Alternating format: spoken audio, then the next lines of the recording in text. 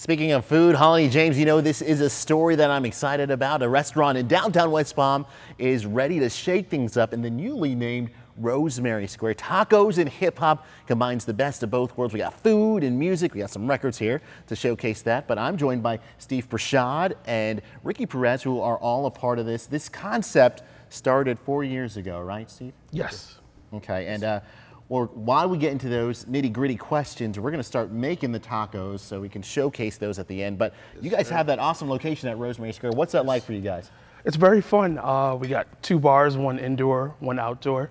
So it creates a really good environment for everyone to hang out and just a really cool, chill time. Okay, and take us back to the basics, how this all started, combining those two elements of food and music. Well, uh, four years ago, we had an idea to kind of do something in the community and you know, liven it up. And Ricky told me that he had some recipes from his family where he can make tacos. So he's the culinary brains behind yes, all this. Absolutely, okay. And you bring the hip hop then? Yes, yes. yes okay. Yes. So what is what is the vibe that we're getting for for guests who want to go into the restaurant? What what are they going to experience? It's a little bit of everything. You know, we want to show people that hip hop has is multidimensional. It's not just straight rap music. It's you know it's soul, it's funk, it's you know it's reggae, it's you know it's multi genres that you know make up.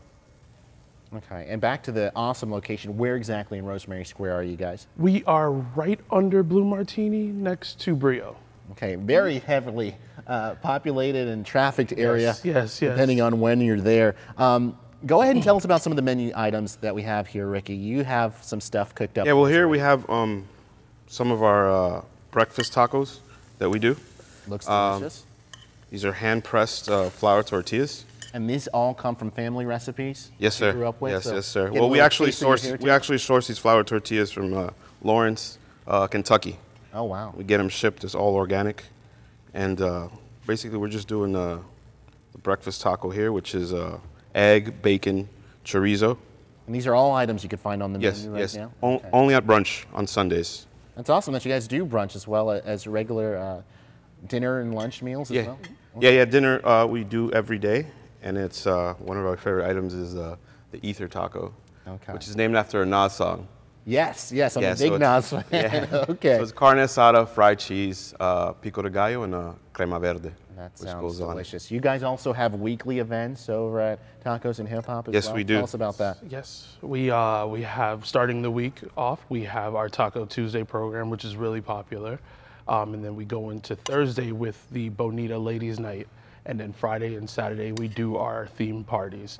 Uh, like last week, we just did a Y2K party celebrating music from the 2000s.